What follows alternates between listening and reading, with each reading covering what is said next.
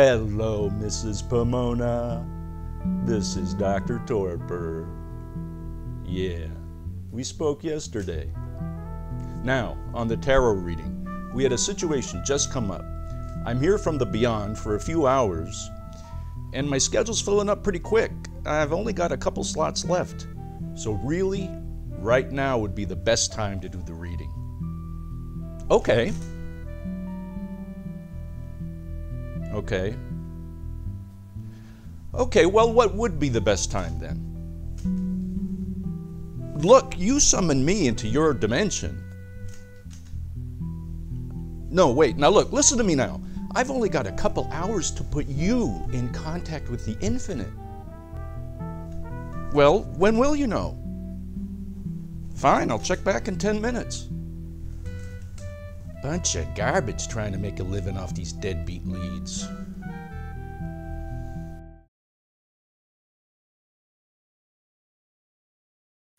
What do you do if you're getting mixed messages in a relationship?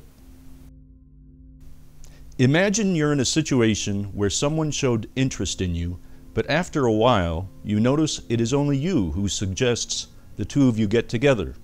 It's confusing because since they accept your invitations, that gives the impression that they like you.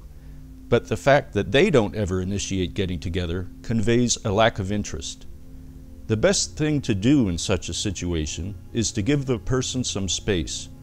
Back away, stop initiating things, see if they come to you. If they eventually do reapproach you, that seems like a good thing but be on the lookout for what we call a pursuit withdrawal pattern. It looks like this a person expresses interest in you and you respond. After a while, you see you are the only one making the effort and you give up. Then, pretty soon, the other person starts pursuing you. You respond to that, but they again withdraw and become passive, leaving you to make all the effort. You give up again. After that, they again start to pursue you, and it goes on in that cycle. It is not your job to figure out why the other person is doing this. That is their job.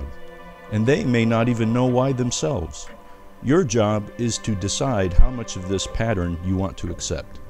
Frankly, in most cases, it would be best to let this situation go. It is probably better to get involved with someone who clearly returns your interest in them. Dr. Torpor saying, you want the good leads, the premium leads, not leads that come from the guest list of a morgue, and stay in contact with the infinite.